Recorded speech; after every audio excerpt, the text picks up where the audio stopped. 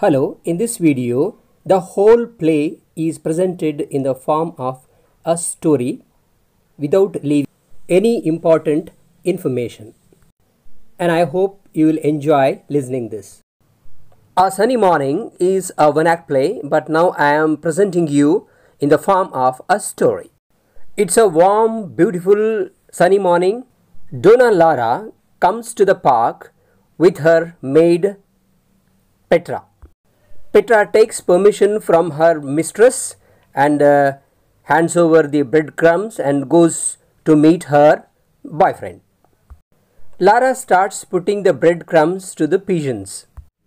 At this time, Don Gonzalo, along with his servant Juanito, comes to the park. As there was no bench vacant, Juanito suggests his master to share the bench with the lady. Gonzalo shows a bench and tells that it is his bench because whenever he comes, he sits there. Juanito tells As there was no option bench left is occupied by three Don Gonzalo and uh, walks towards. Gonzalo sends Lara's Juanito bench. to rout them out. Juanito says that those people are talking and there is no hope of their going from that bench.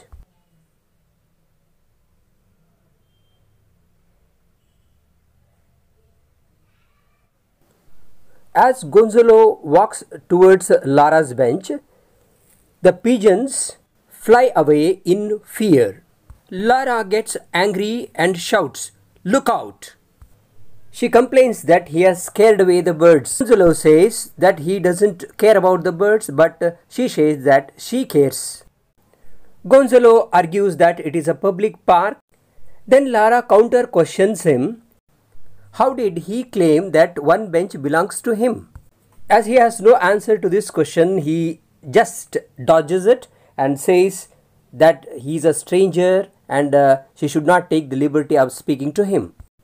Now Gonzalo comes and uh, sits on the other end of the bench.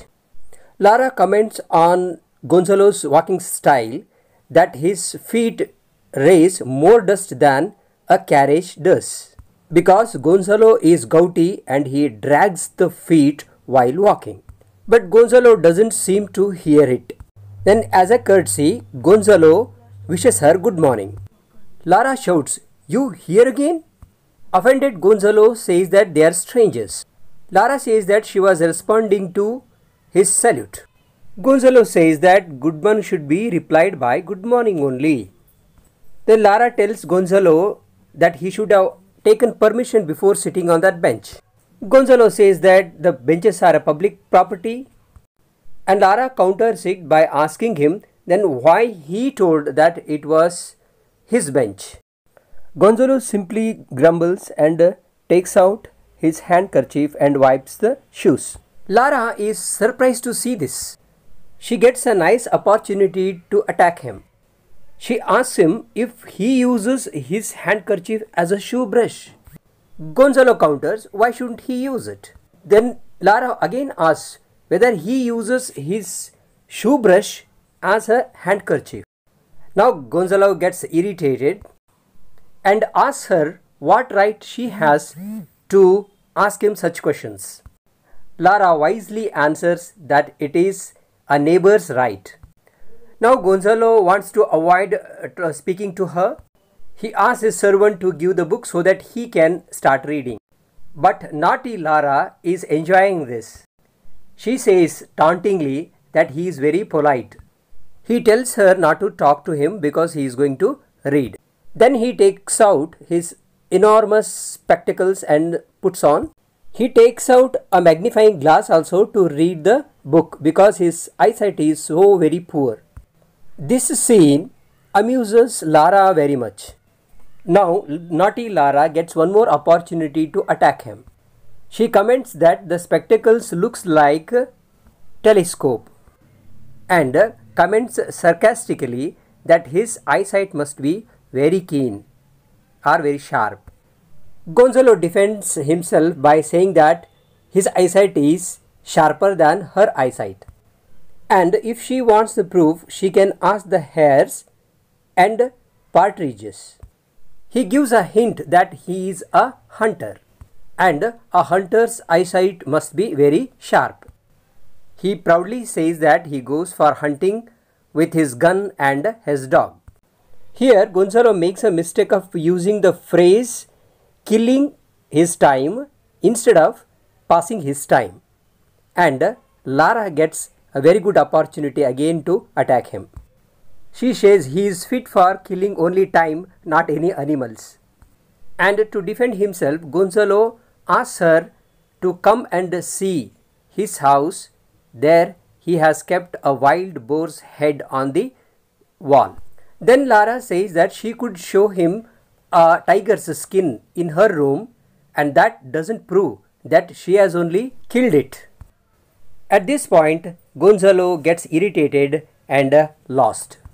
He requests her to stop the conversation and she also tells that he should subside first. Now Gonzalo takes out his snuff box and puts a pinch of snuff into his nostrils.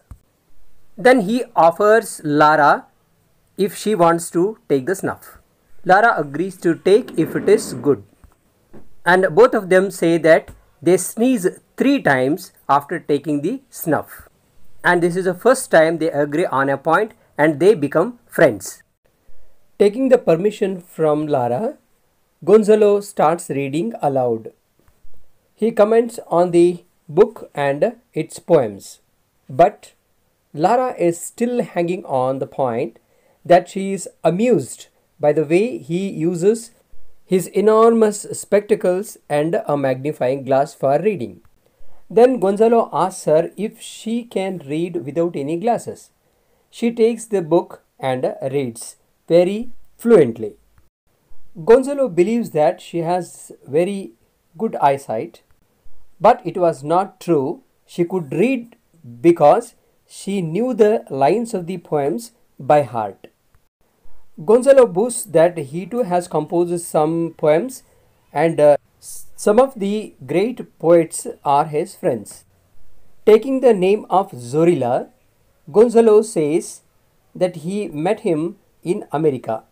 He proudly says that he had been to America when he was just six years old.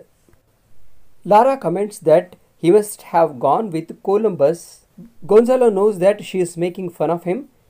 He says he is old, but not that old. Then Gonzalo takes the name of Campoamor and says that he was his friend and he met him in Valencia. Lara is surprised to hear the name Valencia. Lara says that she knows the place and uh, she spent several seasons there. And she also recollects the name of a villa as Maricela and there lived a beautiful maiden popularly known as silver maiden because she was so very fair. Now it is gonzalo's turn to be startled. Now a very sad love story unfolds here the silver maiden's name was laura laurent and she was in love with a young man called gonzalo every day lara waits at her window with the flowers and uh, the young man goes on a horseback by the window and uh, he tosses a bouquet of flowers to her. This goes on for some times but at that time she has been engaged to a wealthy merchant. The merchant comes to know about the love affairs of these two and he challenges Gonzalo for a duel. The next day, both of them go to a deserted beach and there they fight. The merchant is badly wounded and Gonzalo flees the place because he knows that the merchant's family will not spare him, they will definitely kill him. After this, the lovers never meet. What really happened after this incident and how these two spin fictitious stories each is very interesting. Now both of them have come to know that it is their own story, but Gonzalo tells a lie that it is not he, it is his cousin who was involved in that love. And Lara tells that it was her friend who was involved in the love affair.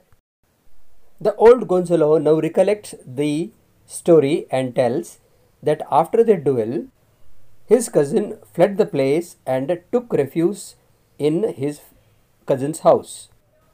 Then he went to Seville from there and finally he reached Madrid. He wrote several letters but he did not get any reply from Lara. Gonzalo then lost the hope of getting her lover and uh, he went and joined the American army as a soldier. Then he went to Africa along with his troop for fighting. There, in a trench, he breathed his last. While breathing his last, he had Spanish flag in one hand and he uttered the name of his beloved Lara Laurent. This is an utter lie. The reality was that he eloped with a ballet dancer just after three months. Now, the old Gonzalo comments that it is the way how girls behave. He makes a very poor comment that uh, Lara might have forgotten everything and uh, might have chased butterflies after some times. But the old lady defends uh, Lara and tells that she is not of that disposition and her friend Lara waited several days for letters but she did not get any communication. One evening the silver maiden went to the beach and there she wrote Gonzalo's name on the sand and she sat on a, rock at the edge of the beach and a huge wave came and took her into the sea. And this also is an utter lie. The reality is that the silver maiden married someone after two years.